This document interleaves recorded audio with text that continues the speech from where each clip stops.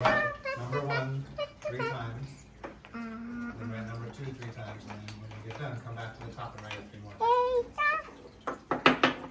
Just to help it like get into your long term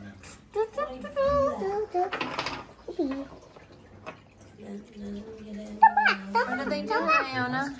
Uh-huh. Writing characters is about repetition.